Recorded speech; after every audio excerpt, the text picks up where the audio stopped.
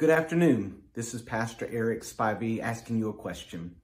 When was the last time you slowed down long enough to watch the sunset? I want to invite you to Vestavia Hills Baptist Church on Wednesday nights this fall as we slow down for sunset vespers.